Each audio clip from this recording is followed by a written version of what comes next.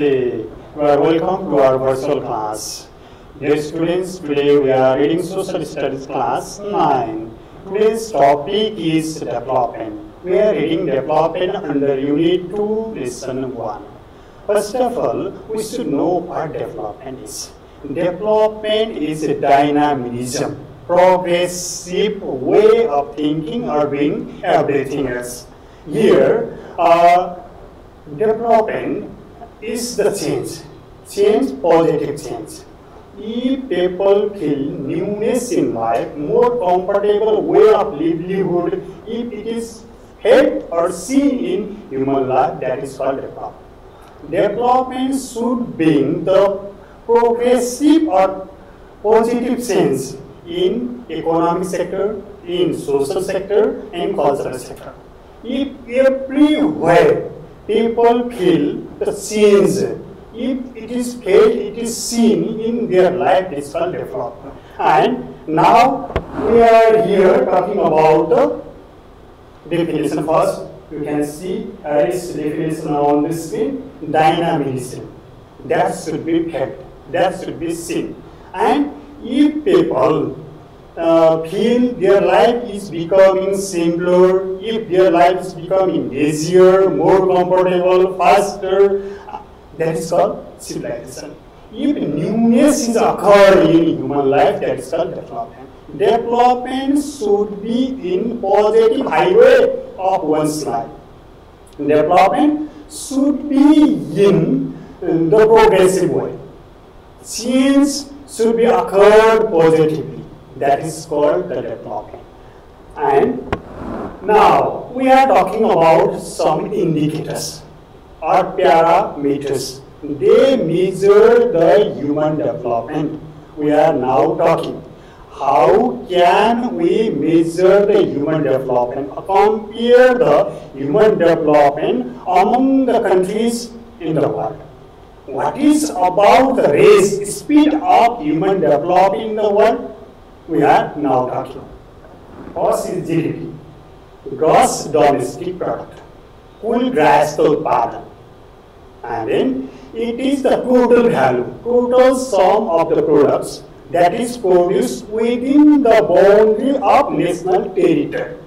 What is produced? It is that calculates total total products made within the territory. It does not include the income made abroad and its monetary value is GDI, gross domestic income.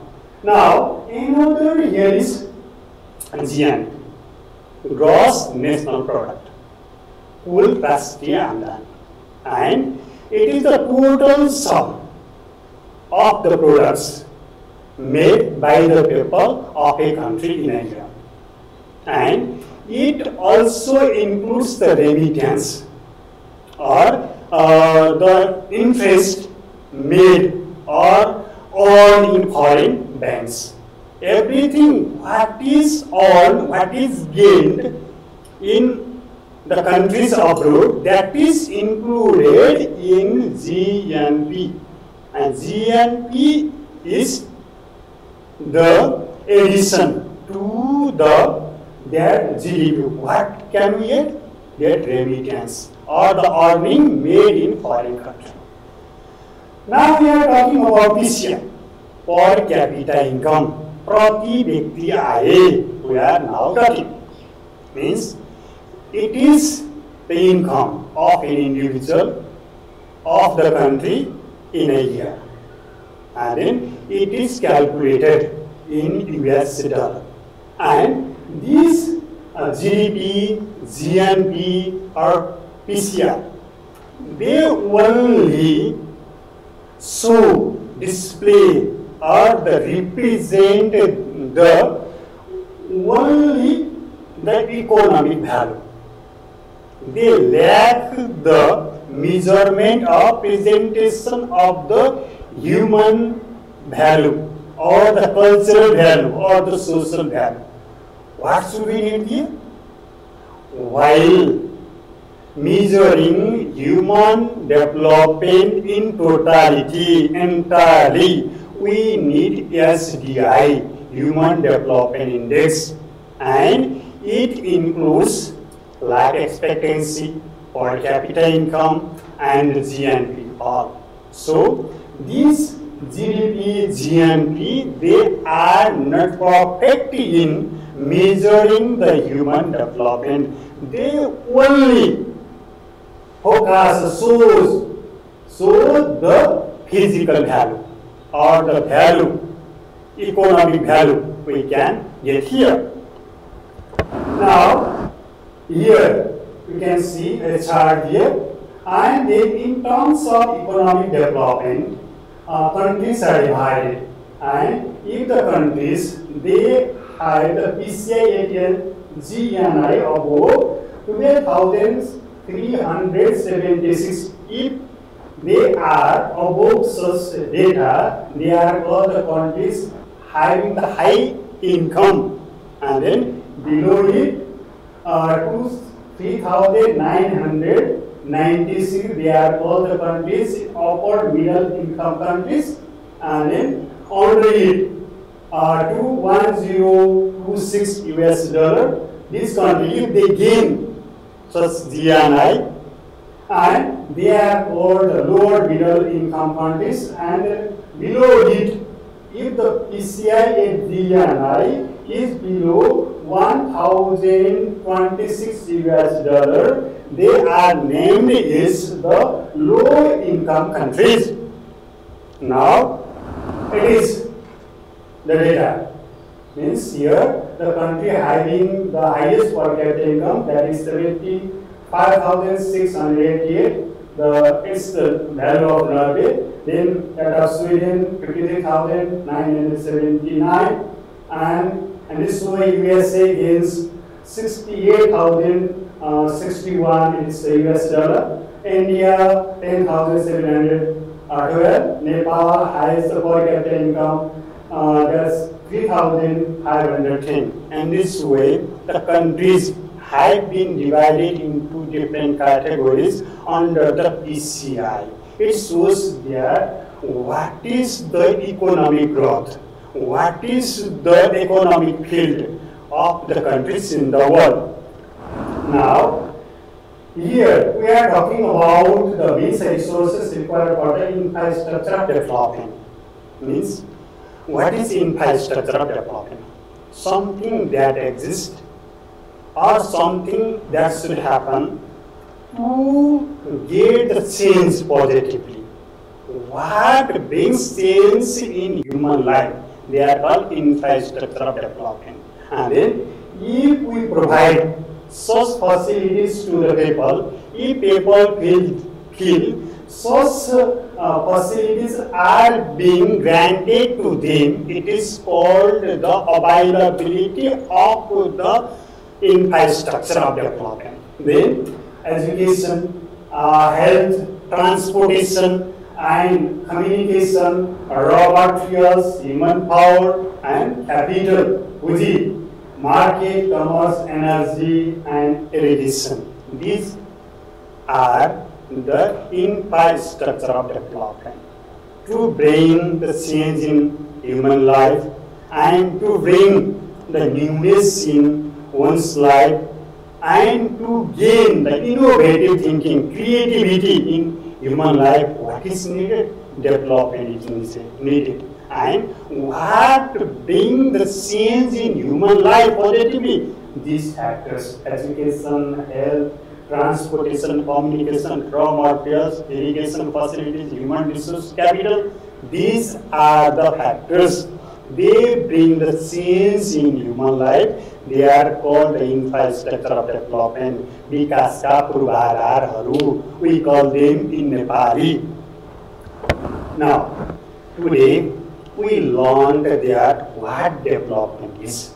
Development is the progressive change dynamism. If people feel newness simplicity easiness faster way of life that is called development.